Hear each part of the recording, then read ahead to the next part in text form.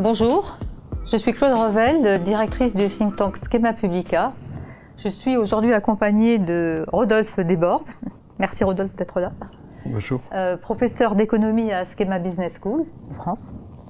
Vos recherches portent sur les investissements directs, sur euh, la croissance économique, sur l'économétrie appliquée, euh, sur les épidémies aussi.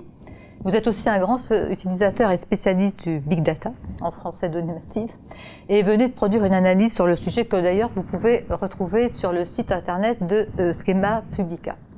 Aujourd'hui, nous allons parler avec vous de big data versus intérêt général et État. En gros, comment l'utilisation des données massives euh, peut-elle faciliter l'élaboration des politiques publiques, euh, axées sur le bien commun, bien entendu Cela est-il possible ou cela tend-il, cette utilisation tend-elle inéluctablement à, aller vers une société de surveillance, comme beaucoup de citoyens euh, le craignent? Et puis, comment développer une éthique de ces données dans la mesure où les flux de données traversent le monde entier Donc, comment avoir une éthique internationale en réalité?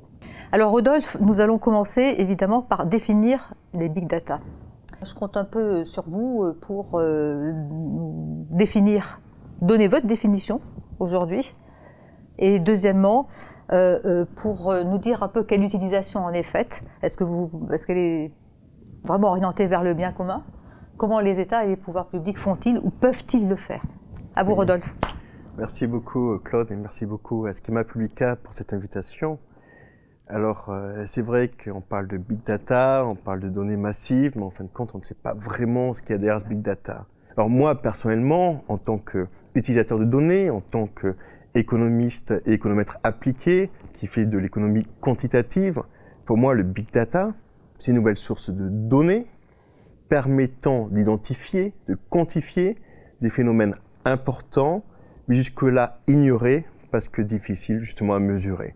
C'est un peu la blague euh, de la personne qui a perdu ses clés dans l'obscurité. Elles sont dans un coin obscur, mais la chasse sous le lampadaire, pourquoi? Parce que c'est là où il y a la lumière. Et en fait, quand le big data permet d'éclairer en quelque sorte ces zones d'ombre. Et va-t-on vers euh, cet éclairage de zones d'ombre euh, aujourd'hui par les États? Est-ce qu'ils recherchent cet éclairage des zones d'ombre? Absolument, absolument. Alors c'est vrai que quand on pense big data, on pense à l'usage qui a été fait, par exemple, dans les élections. On pense à la campagne de Barack Obama qui ciblait les électeurs, justement, pour pouvoir remporter des voix. On pense évidemment au marketing, à Facebook, ces publicités ciblées. Les publicités que moi je vais recevoir ne seront pas les publicités que vous allez recevoir. On pense également à la finance maintenant. On veut un crédit, automatiquement, le logiciel vous dit oui, vous pouvez avoir un crédit en consommation ou non, c'est basé sur le big data. Mais dans le contexte qui nous intéresse, les politiques publiques, évidemment, de plus en plus, les États font appel au big data. Après tout, nous générons, à travers nos appareils statistiques, beaucoup de données. Mais souvent, ces données sont isolées. Il y a des données de santé, il y a des données euh, fiscales, il y a des données de transport. Et souvent, ces bases ne sont pas mises ensemble. Le big data, ça peut être également l'interaction de ces bases de données. Et finalement, on peut imaginer également, et c'est le cas, que le big data, ce sont données publiques combinées avec données privées, données des banques, données de finances, données de marketing, données, par exemple, nous en parlerons sans doute plus tard, données par les réseaux sociaux. Alors on reviendra sur les aspects euh, privés euh, publics, mais avant ça, justement sur le terrain, est-ce que vous pouvez donner quelques exemples, ou un ou deux comme vous voulez, euh, de bah, justement d'utilisation des données massives vraiment pour le bien commun? Des exemples un peu concrets Oui. Alors un exemple très concret, c'est ce qui s'est passé pendant la pandémie euh, Covid-19. Euh, tout d'abord, l'État devait savoir s'il devait intervenir ou pas pour soutenir l'économie, comment intervenir et où intervenir dans quel secteur. Et pour cela, l'État a pu utiliser des données, par exemple privées, euh, données par Visa, qui, a permis de suivre la consommation en temps réel et par conséquent de, de voir que la consommation baissait très fortement, que certains euh, secteurs aient été fortement pénalisés et que donc il fallait apporter un soutien aux ménages et aux entreprises.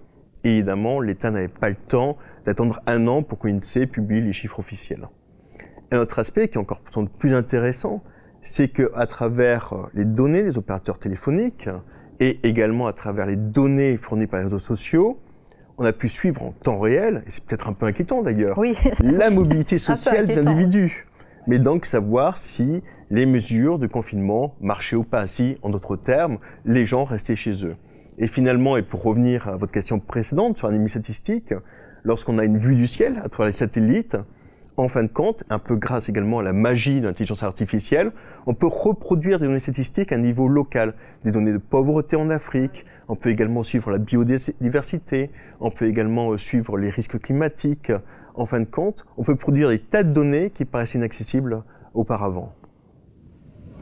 Alors je vais essayer de tempérer un peu cet enthousiasme pour euh, ces données massives euh, avec le fait que, enfin des considérations disons un peu éthiques, selon la fondation Carnegie, Carnegie Foundation, 64 pays euh, dans le monde utilisent ces systèmes de reconnaissance faciale, c'est quand même beaucoup. Et 53, ce qu'on appelle la smart policing, euh, qui est l'idée de prévenir la criminalité, de répondre aux actes criminels, voire de faire des prédictions euh, sur l'activité criminelle future grâce à l'analyse justement de données issues de la localisation géographique, des niveaux d'arrestation historiques, des types de crimes commis, des données biométriques, etc., etc., et des médias sociaux. Euh, donc, euh, sommes-nous euh, du coup aux prémices d'un futur un peu dystopique, du genre Minority Report, ou bien, ou bien non Où va-t-on vers avec cette utilisation grandissante et qui est tout à fait enthousiasmante quand vous en parlez tout à l'heure, mais ne va-t-on pas vraiment, pas, ne court-on pas un risque absolument énorme? Et si oui, comment le juguler?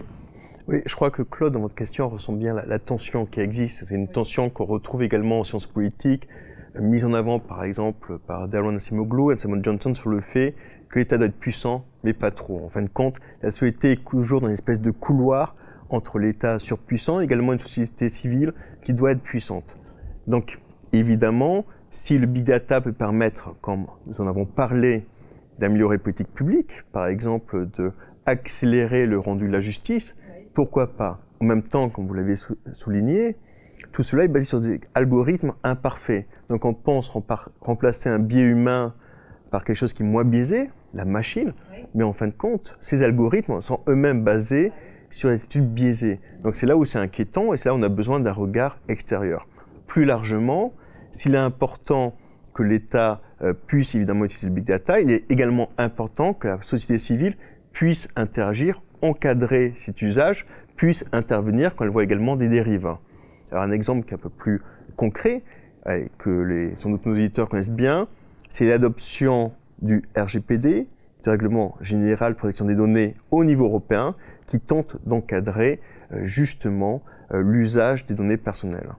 J'aimerais également rappeler que le big data peut être un outil un petit peu d'émancipation et de contrôle de la société civile, au sens que par exemple, on a vu qu'en Argentine, les données officielles d'inflation semblent un peu étranges. des chercheurs indépendants ont pu montrer qu'en fait, l'État, en quelque sorte, ne donnait pas les bons chiffres.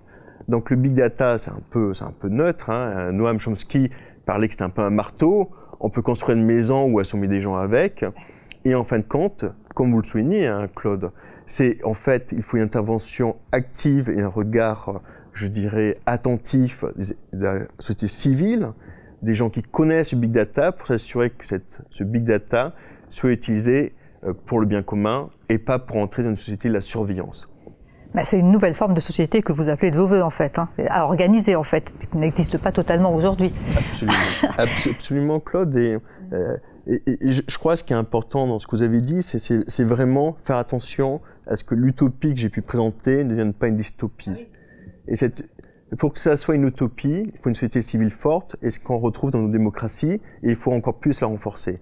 En revanche, et là où moi j'ai un petit peu d'inquiétude, c'est quand nous sommes plutôt dans les sociétés moins euh, démocratiques, plus autocratiques, où là, par définition, la société civile est moins puissante, et où ce qu'on pourrait appeler une nouvelle société de surveillance, les réseaux sociaux, sont contrôlés directement ou indirectement par l'État. Alors justement, enfin comme on est, enfin pas justement, mais on parle des États, mais comme on est un think tank international, Schema Publica, euh, on pourrait se demander euh, ce que fait un peu la communauté internationale sur ce sujet. Enfin, euh, vous le savez évidemment, mais ce que vous en pensez. L'OCDE a publié une liste de 10 bonnes pratiques pour l'éthique des données dans le secteur public, qui place les droits humains au cœur des pratiques digitales.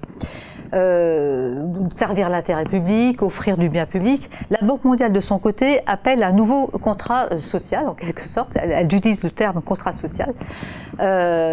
donc, qu'est-ce que vous pensez de ces réflexions? Est-ce que vous pensez qu'elles sont pertinentes? Vous allez me dire que oui, mais est-ce qu'elles sont partagées? Comment ont-elles été élaborées? Est-ce qu'il y a eu justement une participation de la société civile pour les élaborer? Donc, est-ce qu'elles sont en réalité praticables?